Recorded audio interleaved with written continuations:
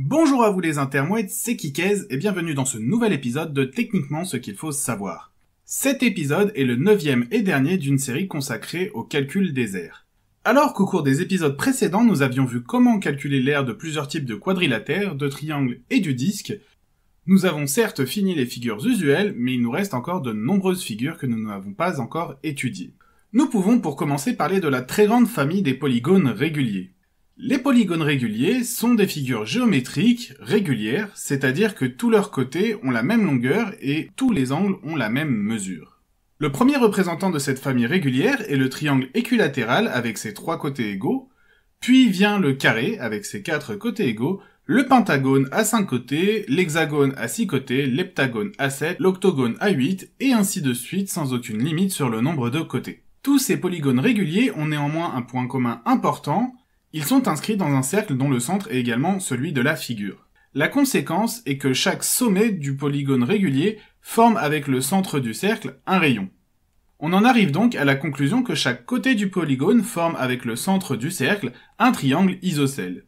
Et du fait que tous les côtés du polygone régulier ont la même longueur, ce dernier peut donc être découpé en un nombre de triangles isocèles identiques égal au nombre de côtés de la figure. Il suffit ainsi de multiplier l'aire d'un seul de ces triangles isocèles par le nombre total de ses semblables formant la figure pour obtenir l'aire de cette dernière. Prenons pour le vérifier une figure très simple que nous avons déjà étudiée, le carré.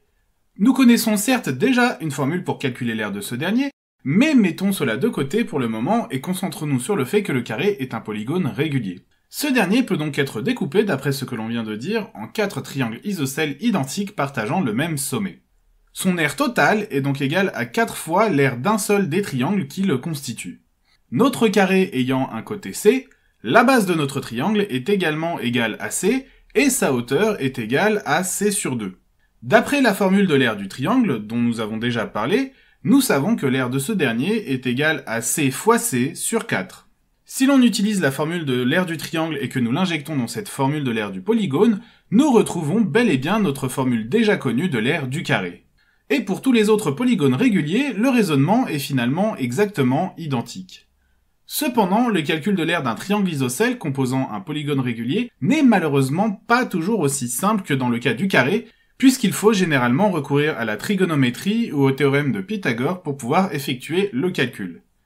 Mais même si nous n'expliquerons pas ici comment calculer dans un cas général l'aire d'un triangle isocèle, nous pouvons néanmoins poser les bases d'une formule permettant de calculer l'aire d'un polygone régulier, qui est donc égal à son nombre de côtés fois le nombre de triangles isocèles formant cette figure. Nous avons donc ici une seule et même formule permettant de calculer l'aire de n'importe quel polygone régulier qui puisse exister et être conçu. C'est en soi très fort puisque cette seule formule décrit à elle seule l'aire d'une infinité de figures géométriques différentes. Bon, c'est bien joli tout ça, mais nous n'avons traité jusque-là que des figures possédant des propriétés géométriques pratiques que nous pouvons utiliser pour trouver comment calculer leur aire. Mais qu'en est-il des autres figures? Celles n'ayant aucune propriété géométrique remarquable, celles n'étant pas régulières, ne possédant aucune symétrie, ou étant loin de pouvoir donner une figure déjà connue quel que soit le nombre de clones de ces dernières que l'on tentera de créer par duplication. Malheureusement, ces figures résisteront malgré toutes les tentatives que nous puissions entreprendre à révéler une formule générale permettant de calculer leur aire. Mais l'impossibilité de trouver une formule générale ne signifie pas pour autant l'inexistence d'une formule tout court. Je vous avais parlé dans les premiers épisodes, avant d'arrêter de l'invoquer pour éviter de systématiquement me répéter, de la propriété de conservation de l'air total d'une figure.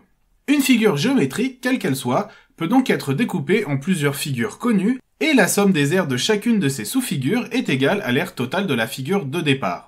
Pour n'importe quelle figure géométrique, aussi tordue et tarabiscotée soit-elle, il est possible de la découper pour obtenir des figures connues dont nous avons déjà parlé, ou des versions tronquées de ces dernières où l'utilisation réfléchie et astucieuse des propriétés géométriques nous permettra d'arriver à nos fins.